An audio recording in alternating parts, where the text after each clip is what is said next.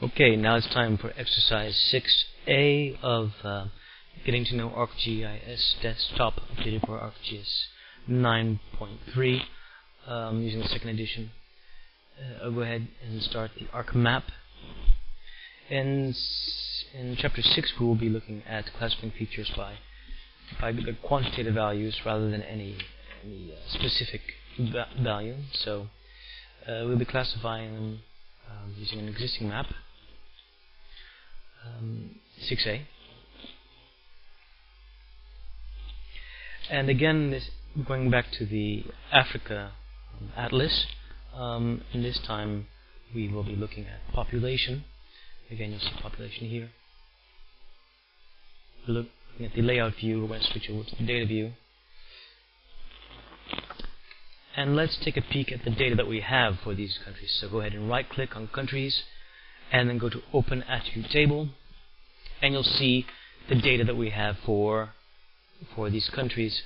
Um, you'll notice the, the, the, polygons the name of the country uh, square kilometers population for different years. Let's go ahead and look at the population 2000 which we'll be using to classify Nig Nigeria uh, is a largest country. It's, it's double the population of, of Ethiopia which is the second most popular populous country and that's just an interesting uh, fact. Nigeria. So we want to classify these, and in, so as you see in step 5, we'll go ahead and um, double click on the countries and look at the symbology.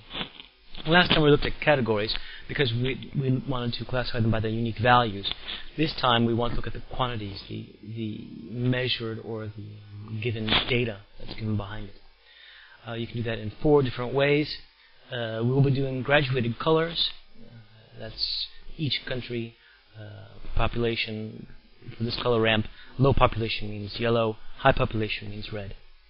Graduated symbols means that a symbol, the larger the symbol, uh, the larger the country. This is one for each polygon, and dot density, which as you see in the preview panel, um, is represented by dots. But these are randomly generated uh, per polygon. This is just a polygon divided into subpolygons. So we're going to do graduated colors. And that is in, and it's shown in step 7 we will choose to look at POP 2000. That's the census data for uh, African nations in the year 2000. Um, go ahead and keep this as it is. Uh, that is the, the five natural five classifications uh, defined by natural breaks. We'll be playing with those later. Um, these are divided uh, by natural breaks in the data, and it and it shows in these five categories automatically. Go ahead. Click OK. So, so as you see, Nigeria is uh, is the only only nation that's in the, in the last category. And when you're when you're showing representational data, um, you you will want to play around a bit to uh, to see you know what's the best way of showing the best way of showing uh, a map. So let's try another example. So in, in step 10, uh, going back to the book book is, go ahead and double click again on, on the country and play around a little bit to learn more about these graduated colors that we can use. Leaving the color scheme as it is, we'll, we'll hop on over to the uh, the histogram, uh, which you get to by you know classify button.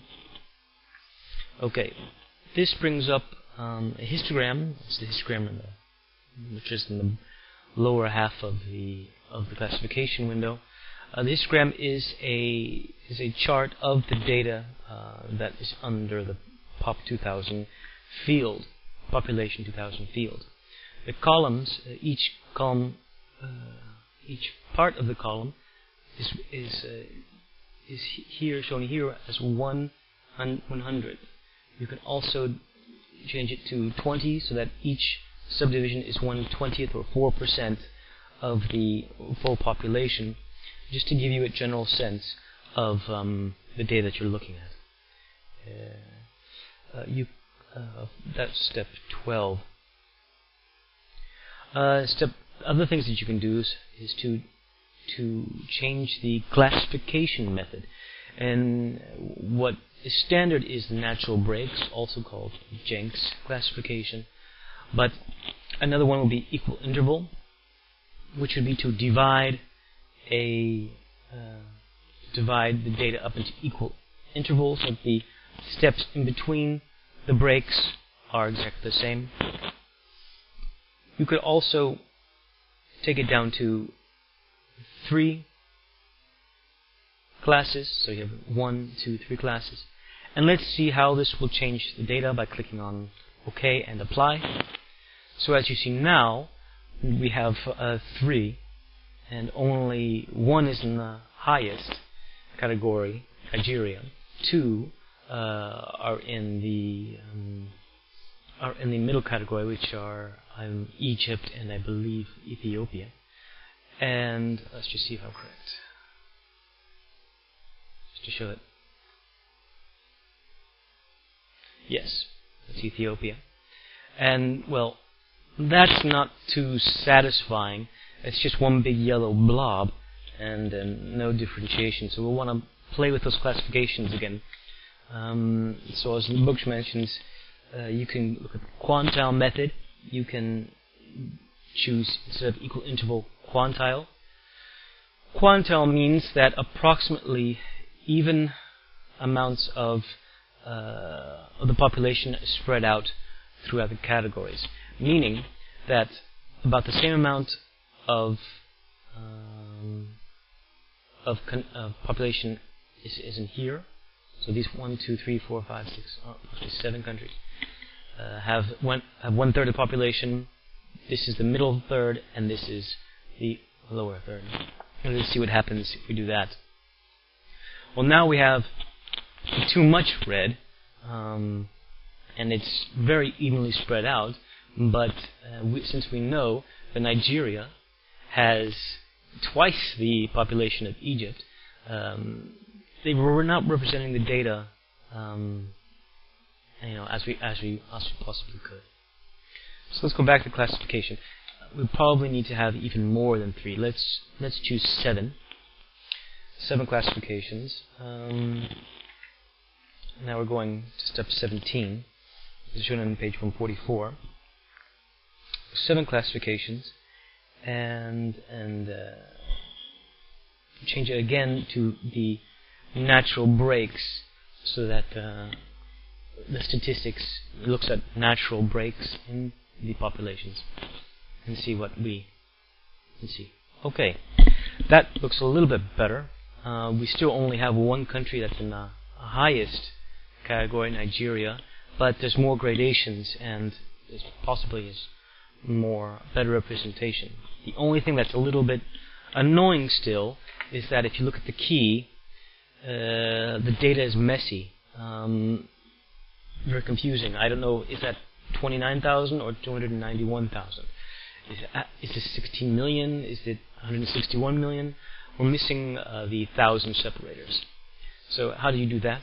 You go back to the layer property menu and you click on the uh, label column, just directly click left click, and select format labels. Uh, here you can change uh, the category, that's numeric, so we'll keep it that there. Uh, we have zero decimal places because there's no decimal values. Uh, you can change alignment if you wish, but what we really want is we want to show the thousand separators, um, which would, had not been not been clicked on. And you see here immediately uh, in the preview that the uh, the thousand separators have been added. For me, this is a, a European uh, license. I'm living in Europe, of course, and so the the the separators are, are decimals, but of course US licenses will have commas. Go ahead and click OK. Now the, the key is fine. Uh, I like the representation as it is here. Um, and we can go ahead and make sure that looks fine. Here we go. So that's it for um, that's it for exercise 6a. Uh, if you would like to save your data, um, please please go ahead and move on to exercise 6b.